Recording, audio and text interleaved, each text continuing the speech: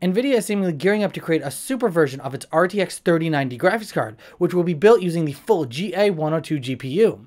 This super variation will have a TGP or total graphics power of 400 watts. Currently, the GeForce RTX 3090 serves as NVIDIA's flagship gaming GPU, but the Green team wants to offer more power with the upcoming Super refresh. The NVIDIA GeForce RTX 30 Super is expected to feature a full GA102 GPU core with faster clock speeds and a much larger requirement in the terms of power, as rumored by Greymon55. The GPU is based on Samsung's 8nm custom process node, designed specifically for NVIDIA and features a total of 28 billion transistors. It measures in at 628mm squared, which makes it the second biggest gaming GPU ever produced, right below the Turing TU102 GPU. The GeForce RTX 3090 Super will be the first gaming graphics card to feature this GPU with a total of 84 SM units that would result in a total of 10,752 CUDA cores. This would be a 2.5 increase in core count,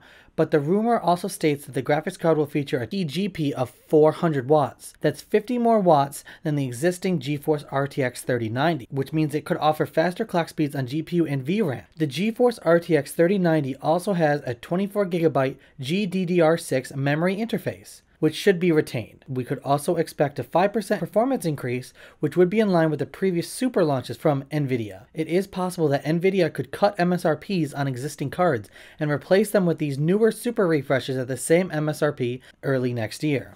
Although that doesn't seem likely as retailers are still almost completely sold out on graphics cards. NVIDIA's GeForce RTX 30 Super Series are reportedly going into production this quarter with a launch in 2022. What do you think? Will you be grabbing one of these when they release? If you can even get your hands on one?